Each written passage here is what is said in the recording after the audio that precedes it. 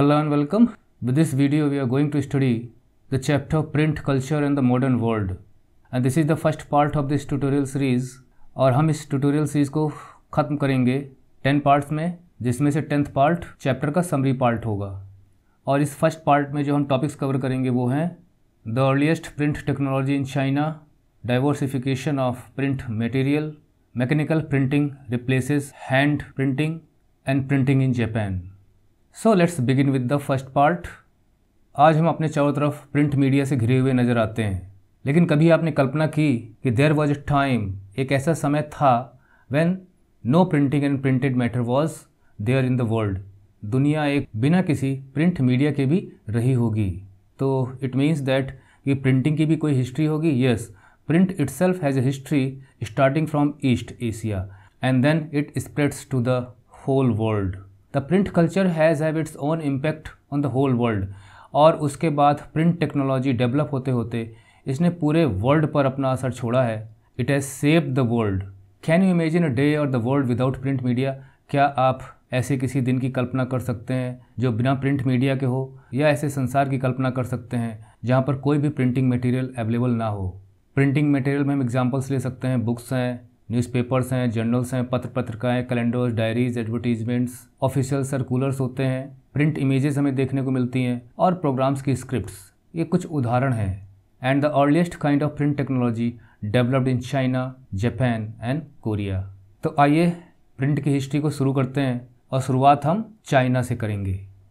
The earliest print technology पहला topic और उसमें हम सबसे पहले हैंड प्रिंटिंग को लेंगे। From A D five hundred ninety four books were printed using the hand printing तो प्रिंटिंग की शुरुआत हुई हैंड प्रिंटिंग से। लेकिन प्रिंटिंग कहीं तो की जाएगी पेपर पे या टेक्सटाइल पे। तो यहाँ पर यह भी बता दें कि पेपर की जो शुरुआत हुई, वो भी चाइना से हुई। Means paper was invented in China around hundred B C तो पहले की किताबें हैंड प्रिंटिंग से छापी जाती थी और कैसे छापी जाती थी?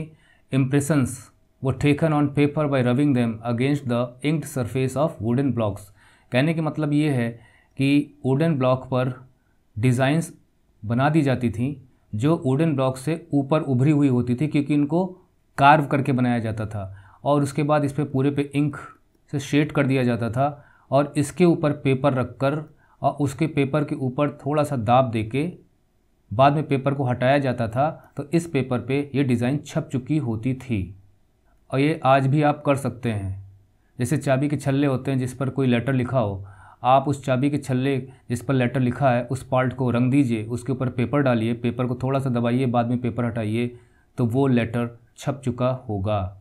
और ये जो बुक्स छपती थी, हैंड प्रिंटिंग के ज़रिए, उन्हें अकॉर्डियन बुक्स कहा जाता था, जो कि ट्रेडिशनल चाइनीज़ बुक्स हैं। क्योंकि जो पेपर्स होते थे पेपर शीट्स वो पतली होती थी और पोरस होती थी।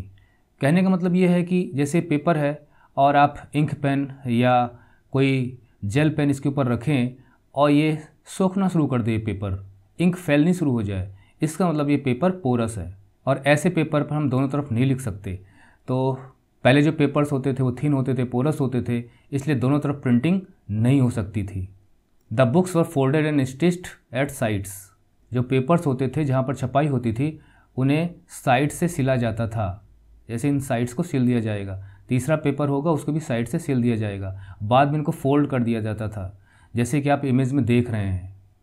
तो इस तरह से अकॉर्डियन बुक्स तैयार होती थी and the skilled craftsman and calligraphers calligraphers उन्हें कहा जाता है जो बहुत ही अच्छी राइटिंग में लिख लेते हैं। स्टाइलिश एंड ब्यूटीफुल राइटिंग का हुनर होता है उनके पास। तो they very accurately duplicated the books क्योंकि जो वुड ब्लॉक्स होते थे, उनके ऊपर कैलीग्राफर्स लिखेंगे तो उसी को कार्व किया जाता था, जिस पर पेपर रख कर रब कर कर छापा जाता था। तो कैलीग्राफर्स को एम्प्लॉय किया जाता था, और दुनिया भर में सबसे ज़्यादा प्रिंट मटेरियल चाइना में छपता था। तो हमारा next topic China as a major producer of printed materials तो उसकी वजह भी थी China was a big empire China एक बहुत बड़ा साम्राज्य था इसकी बहुत बड़ी ब्यूरोक्रेसी थी। मीन्स, शासन चलाने के लिए जो कर्मचारी रखे जाते थे, उन्हें ब्यूरोक्रेट्स कहा जाता है। सो, एडमिनिस्ट्रेटिव सेटअप में काफ़ी ब्यूरोक्रेट्स एम्प्लॉयड थे। And, these bureaucrats were recruited through civil services examinations. तो अब तो ये दुनिया भर में होता है। इंडिया में भी होता है कि अगर आपको अधिकारी रखने हैं एडमिनिस्ट्रेशन में तो सिविल सर्विसेज़ एग्जामिनेशंस कराए जाते हैं, परीक्षा कराई जाती है। तो उस वक्त भी इसी प्रकार की परीक्षाओं के ज़रिए रिक्रूटमेंट होता था। ब्यूरोक्रेट्स का a large number of examination text books of printed under the guidance of the imperial state of China तो जो एम्पायर था, वो सिविल सर्विसेज़ एग्जामिनेशंस के लिए प्रिपरेशन के लिए टेक्स्ट बुक्स को प्रिंट करवाता था। अपनी देख रेख में, अपने निर्देशन में कि किस प्रकार की टेक्स्ट बुक्स होनी चाहिए, जिसको प्रिपेयर करके ये एस्पिरेंट्स जो ब्यूरोक्रेसी में आना चाहते हैं, परीक्षा देंगे। Sixteen century onwards, the number of candidates aspiring for exams increase तो लोगों की संख्या बढ़ने लगी इस परीक्षा को देने के लिए, और इसीलिए टेक्स्ट बुक्स की भी संख्या बढ़ने लगी होगी। So the volume of printed materials also increase so ये टॉपिक यहाँ पर कवर हुआ कि क्या वजह थी कि China became a major producer of printed materials diversification of print material तो इस टॉपिक में हम पढ़ेंगे कि नई रीडरशिप डेवलप हुई और भी नए लोग डिफरेंट डिफरेंट सब्जेक्ट्स पे किताबों को पढ़ना चाहते थे तो डाइवर्सिफिकेशन हो गया प्रिंट मैटर का।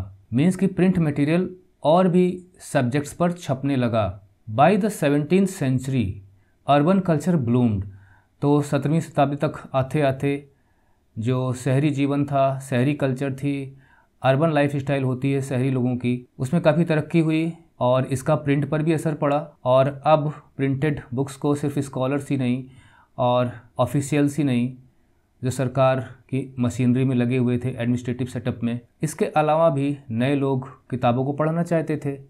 Reading as leisure activity means कि खाली समय में लेज़र टाइम में लोग किताबों को पढ़ना पसंद करते थे और new readers like reading variety of writings किसी को फिक्शन पसंद है, किसी को पोइट्री पसंद है। कोई आत्मकथा ही पढ़ना चाहता है रोमांटिक प्लेज हैं तो डिफरेंट सब्जेक्ट्स थे। किसी को एंथोलॉजीज ही पसंद है लिटरेरी मास्टर पीसेस की। कि जो नामी ग्रामी लेखकों की जो पुस्तकें, उनकी कृतियों को पढ़ना चाहते थे anthologies of literary masterpieces दूसरा, औरतें भी पीछे नहीं थीं, वो किताबें पढ़ना भी चाहती थीं और पब्लिशर्स भी थीं। तो इसमें रिच वीमेन थी, वे लोग किताबों को पढ़ती भी थीं and they published their books जैसे पोइट्री है एट्सेट्रा और जो स्कॉलर्स की वाइफ्स होती थी, वो अपने वर्क को पब्लिश कराती थी। जो कॉर्टिजन्स थी मीन्स जो तवायफ हैं, नाच गाने का काम करती थी, वो अपनी लाइफ्स पर भी पब्लिश कराती थी मैटर को। जो मर्चेंट्स थे, वो भी प्रिंट मैटर का यूज़ करते थे। They use print to collect day to day information trade information को कलेक्ट करने के लिए, अपना बही खाता मेंटेन करने के लिए, सूचना इकट्ठा करने के लिए कि वो प्रिंटेड मैटर में पड़ी रहेंगी तो सुरक्षित रहेंगी। ये इनका यूज़ था प्रिंटिंग मीडिया का उस समय। लेकिन जिस तरह डिमांड बढ़ रही थी प्रिंट मटेरियल की डिफरेंट सब्जेक्ट्स पर तो उसी हिसाब से टेक्नोलॉजिकल इनोवेशन भी हो रहे थे। तो next topic hand printing shift to mechanical printing the increase in diversified reading culture was made possible तो ये जो हमने देखा कि डाइवर्सिफिकेशन हो रहा था प्रिंट मटेरियल का डिफरेंट सब्जेक्ट्स पर बुक्स छप रही थी लोगों के लिए तो वो तभी संभव हो पा रहा था क्योंकि जो हैंड प्रिंटिंग थी, वो शिफ्ट हो रही थी मैकेनिकल जहाँ पर हाथ की बजाय मशीनों से छपाई होती थी। And this was change in printing technology in the late nineteen century अब वो चेंज क्या था? और कौन लेके आया था? Western powers imported mechanical press at their western outpost in China तो जैसे आप जानते हैं कि वेस्टर्न पावर्स लगभग दुनिया भर में छाई हुई थी। इंडिया में भी अंग्रेज़ आए और हमें गुलाम बनाया। उसी प्रकार से चाइना में भी वेस्टर्न पावर्स गई। तो वहाँ पर, जहाँ पर उन्होंने अपनी चौकियाँ बनाई, जहाँ पर वो रहते थे आउटपोस्ट्स उनकी फैमिलीज़ भी वहाँ पर रहती थी तो वहाँ पर उन्होंने यूरोप से मैकेनिकल प्रेस मंगाने शुरू किए और Shanghai became hub of the new print culture और संघाई एक प्रकार से न्यू प्रिंट कल्चर का हब बन गया। क्यों? क्योंकि जो वेस्टर्न स्टाइल्ड स्कूल्स थे, जहाँ पर इन वेस्टर्न पावर्स के बच्चे पढ़ते थे, वहाँ बुक्स की ज़रूरत थी ही और डिमांड को पूरा करने के लिए मैकेनिकल प्रेस की आवश्यकता थी तो उन्होंने इंपोर्ट करना शुरू किया चाइना में। हैंड प्रिंटिंग पर इसका असर पड़ा। Hand printing technology became older तो मैकेनिकल प्रिंट मशीन के सामने तो हैंड प्रिंटिंग पुरानी नज़र आएगी और धीरे धीरे करके gradually it was replaced by mechanical printing in China तो धीरे धीरे ये मैकेनिकल प्रिंटिंग ने जगह ले ली हैंड प्रिंटिंग की और तेज़ी से डिफरेंट सब्जेक्ट्स पर प्रिंट मटेरियल छपकर मार्केट में जाने लगा, लोगों के सामने आने लगा। इसके बाद next topic printing in Japan Around 768 to 770 AD, hand printing technology was introduced in Japan by Buddhist missionaries तो जापान में प्रिंट टेक्नोलॉजी को किसने इंट्रोड्यूस किया? बुद्धिस्ट मिशनरीज ने इंट्रोड्यूस किया। बौद्ध धर्म के प्रचार प्रसार में जो लोग जाया करते थे जिन्हें मिशनरीज कहा जाता था तो बुद्धिस्ट मिशनरीज को भी बुक्स की आवश्यकता प्रिंटेड मैटर की आवश्यकता पड़ती थी। तो जब वो जापान में गए तो वहाँ पर टेक्नोलॉजी को लेके गए हैंड प्रिंटिंग की। और जो सबसे पुरानी बुक जापान में द ओल्डेस्ट जैपनीज बुक। उसका नाम डायमंड सूत्र है, जो लगभग 868 एडी के लगभग प्रिंट हुई थी, और इसमें six sheets of text means ऐसे ऐसे करके, ऐसे ऐसे करके छः सीट्स होती थी, जिनमें टेक्स्ट छपे होते थे। और वुड कट इलस्ट्रेशंस भी होते थे, जो कि बहुत ही इंट्रिकेट बहुत जटिल काम था। लेकिन ये बुक तब भी छपी बौद्ध धर्म पर आधारित थी, और जापान में जो पिक्चर्स थी, वो टेक्सटाइल्स यानी कपड़ों पर भी छापी जाती थी। प्लेइंग कार्ड्स जिन्हें हम ताश कहते हैं, उन पर छपती थी। पेपर मनी नोट्स वगैरह, उन पर भी मेटर पेंट किया जाता था, छपाई होती थी। मिडिबल जापान में, यानी मध्यकालीन जापान में, उस काल के दौरान चीप बुक्स की बहुत बहुतायत हो चुकी थी।